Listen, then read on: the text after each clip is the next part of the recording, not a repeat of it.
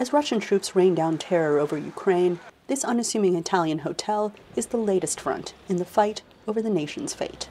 On Monday, U.S. National Security Advisor Jake Sullivan met in Rome for seven hours with Yang Jiechi, Chinese director of the Office of the Foreign Affairs Commission. Administration officials described it as an intense meeting in which Washington reminded Beijing, privately, of the consequences of China violating sanctions to fund Russia's war effort. I think what we have conveyed and what was conveyed by our national security advisor in this meeting is that should they provide military or other assistance uh, that, of course, violates sanctions or uh, or supports the war effort, uh, that there will be uh, significant consequences. But in terms of what those specifics look like, we would coordinate with our partners and allies to make that determination. In just under three weeks of fighting, the nation has hemorrhaged more than 2.8 million refugees.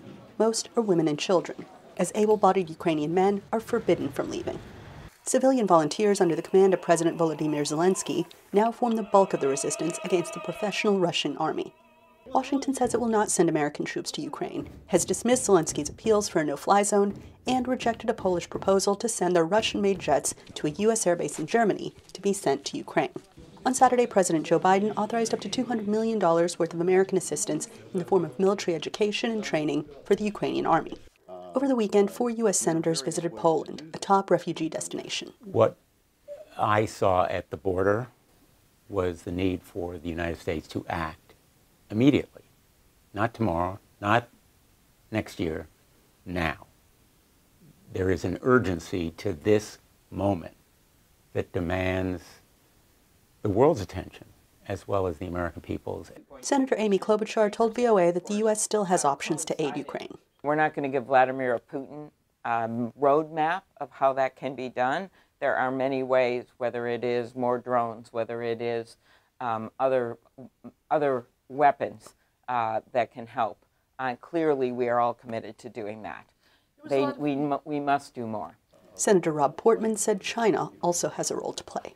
China needs to be careful here because the United States of America has the ability through our market to make uh, the Chinese economy falter as well in significant ways. They depend on us. And you know, we are interdependent in a sense too. A Chinese foreign ministry spokesman told journalists Monday that China has been playing a constructive part in promoting peace talks in Ukraine and charged the U.S. with making false accusations. He did not confirm or deny a direct question asking if China planned to support Russia in the future. Also on Monday, Russian and Ukrainian delegations held a fourth round of peace talks virtually. Zelensky says he is aiming for a face to face meeting with Russian President Vladimir Putin. Even far flung nations are getting involved. VOA asked Psaki if the White House was considering South African President Cyril Ramaphosa's offer to mediate between the two parties. There have been a half a dozen global leaders who have been meeting with both the Russians and the Ukrainians and engaging, of course, directly uh, through diplomatic channels and trying to uh, come to a, uh, a, diplomatic conclusion here. We have been engaged directly with them on the front end and back end of those conversations and encourage them to also make sure they are uh, engaging with the Ukrainians and not just the Russians. And Zelensky, who's refused to leave his country but has issued a stream of videos to both civilians and lawmakers around the world, is himself opening a new virtual front. On Wednesday, he will speak before a closed joint session of the U.S. Congress. Anita Powell, VOA News, the White House.